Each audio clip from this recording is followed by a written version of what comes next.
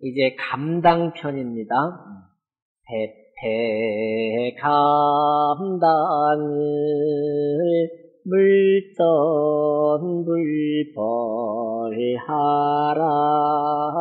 소백소가리니라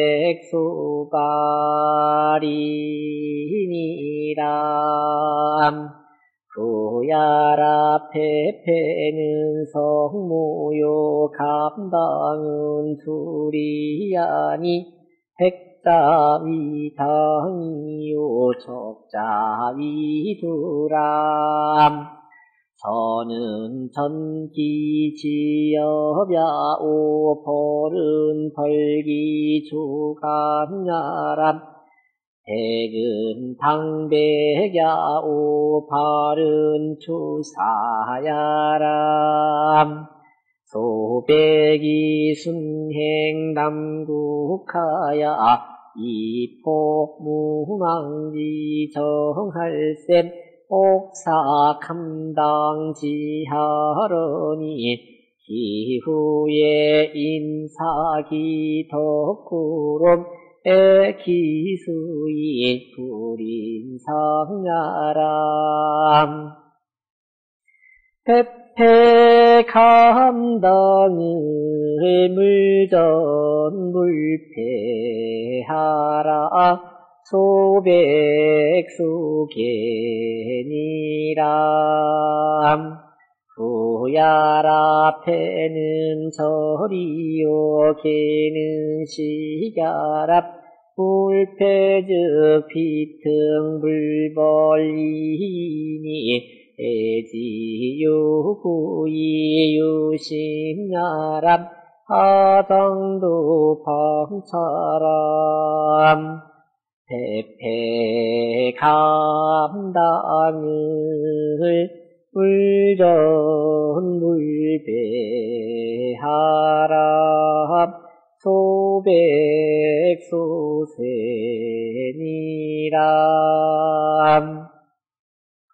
구야라 배는 구리요 새는 사야람 물배즈 비등 물패이라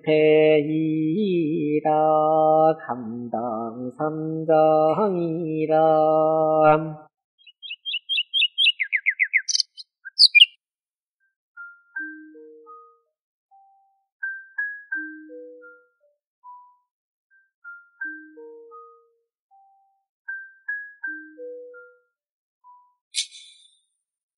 이거 부모님이나 돌아가신 친정 아버지나 돌아가신 할아버지나 이분들께서 소중히 쓰시던 물건을 남겨주면 그 물건을 어떻게 하지요? 아주 소중히 여기고 정말 귀한 사람 왔을 때 이게 바로 우리 내가 물려받은 거라고 보여주기도 하고 소중히 다루지. 그렇듯이 여기는 그 소백이 그 문왕의 정치를 펼치려고 와서 머물다가 머물 때 집이 없으니까 이 감당이라는 나무 밑에서 이렇게 움막처럼 지고 계셨던 곳이에요. 그러니 후에 그 마을 사람들이 교화를 받아서 야 초나무는 참 그 소백이 와서 머물던 곳이야. 지금 말하면 정이품송 이렇게 소중히 다루듯이 그렇게 하는 그런 시예요. 보세요. 페페 감당을 저 무성한 감당을 이게 아가위 나무라고 하지요. 아가위 나무를 물전 물벌하라. 가지도 꺾지 말고 밑둥도 자르지 말아라. 소백 소발이니라. 왜 그러냐면 소백께서 거기서 이렇게 머무르셨던 곳이니라. 그러니 그거마저 없애버리면 그 흔적이 없어지잖아요. 그러니까 여기를 잘 간직하라. 우리나라 정이품송이 그런 거 아니에요? 그 소나무 밑에서 비를 피해가지고 벼슬을 줬다는 거 아니에요? 그거와 똑같은 거지. 부야라 페페는 성모요 아주 무성한 모습이다. 감당은 어, 둘이 아니 이, 이 둘이라는 것도 사실은 이게 아그대 아가위라고 하지요. 네, 아가베. 네. 그러니 백자 위당이요 그, 그흰 것을 당이라 하고 굵은 것을 음, 두라고 하더라 이거죠. 근데 거기 보면은 뒤에 보면은 당은 금 당리하라 이렇게 써 있어요.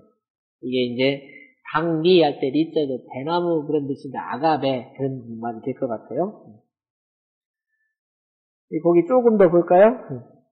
기자, 역, 유, 적백, 미약하야. 그 기자라는 건 뭐야? 그 열매예요. 그 열매가 붉은 것도 있고 흰 것도 있고 미약. 미는 달콤한 거고 악은 쓴 거예요. 달고 쓴 것이 있는데 백색은 흰 것은 감당이라고 하고 적색은 어, 습이 자기니 그 적색은 뜰부면서도 쉬어요. 신이 수고에 습여 어, 습여 투시하라. 뜰기가 아그베와 같이 뜰다라고 하는 말이 생겼다 말이죠. 그렇지요? 지금도 아가베 가보면은 지금은 저는 사실은 그 새까맣게 있는 것만 봤는데 우리나라에서는 이게 덜 익었을 때는 아주 뜰버요. 정말 뜰버요. 예, 근데 돌배하고 더 작은 거 있어요. 아가베라고. 예. 팥배나무. 예.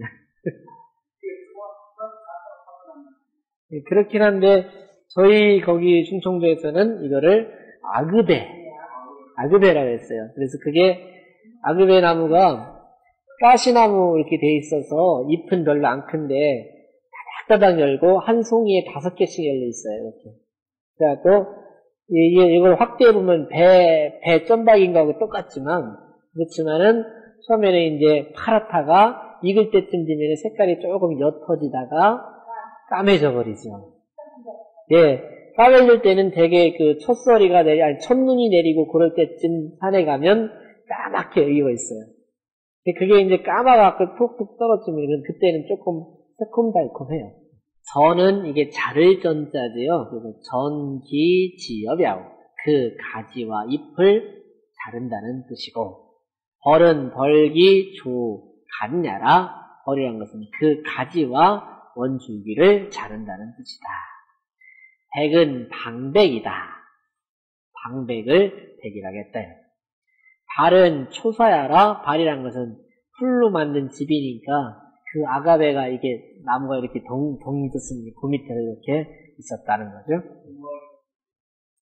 소백이 순행 남극하야 소백이 남극을 순행할 적에 순행해서 이포 문왕지정 할세 문왕의 정치를 베풀 적에 포는 이게 펼포자니까 펼칠 적에 혹사 감당지하라니 혹은 감당나무 밑에서 잠깐 머물러 있었더니 기후에 그 후대에 인사 기덕으로 사람들이 그분의 은덕을 생각하기 때문에 애 기수의 불인상녀라.